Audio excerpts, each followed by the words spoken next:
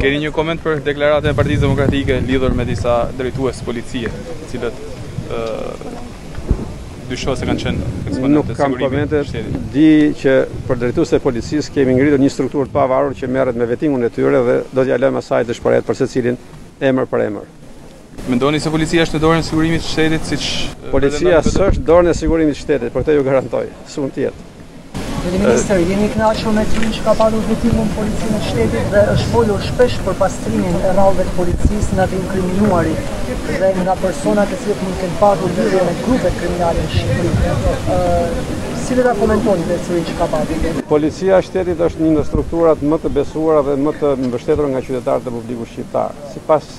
anketave të fundit, sondazheve të fundit të bëra nga partnerë ndërkombëtarë, rezulton që policia e shtetit mbështetet masivisht nga qytetarët shqiptarë. Mbi 62% e qytetarëve shqiptarë e vlerësojnë pozitivisht, ndërkohë që 75% e tyre besojnë që janë të sigurt në vendin e tyre. Pra do të them që policia e shtetit është një strukturë e besuar. Sigurisht, policia e shtetit si çdo organizëm i përbërë nga njerëz, Ka problemet e saj dhe për këtë arsye është dhe institucioni më i vëzhguar dhe më i vrojtuar.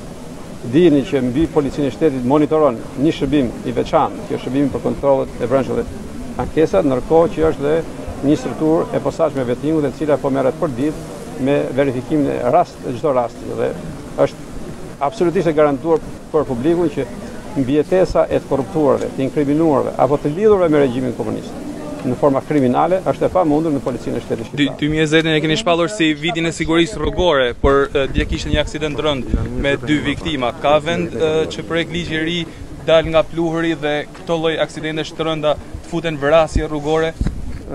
Ne po sapo kemi lançuar në rrugë zyrtare iniciativën për ndryshime rrënjësore në Kodin Rrugor që synojnë penalizimin e rëndë të atyre që shkaktojnë aksidente dhe pasoja në trafik. Duhet t'ju them që me gjithë faktin se çdo aksident është i rëndë dhe i papranueshëm, duhet them që tendenca e e aksidenteve rrugore në Shqipëri është në ulje të vazhdueshme, eksponenciale, do të thosha, sivjet kemi shumë më të, disa më pak sesa një vit më parë për të njëjtën periudhë dhe kjo tendencë do të vazhdojë drejt përmirësimit. Por duhet të them që siguria rrugore është funksion i shumë faktorëve, i penalizimit përmes ligjeve, i edukimit publik, i gjendjes rrugës, i gjendjes makinës, janë shumë faktorë, por përpjekja jonë është për ta reduktuar në maksimum fatalitetin në rrugët e vendit dhe për këtë po punojmë të gjithë. Pyetja e fundit, zgjedhjet e 2021-shit kanë një afat.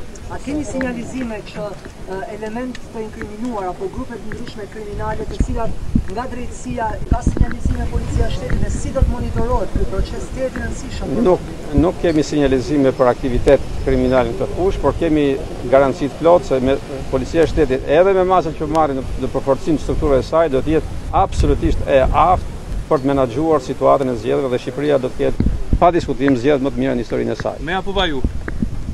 Me. Me.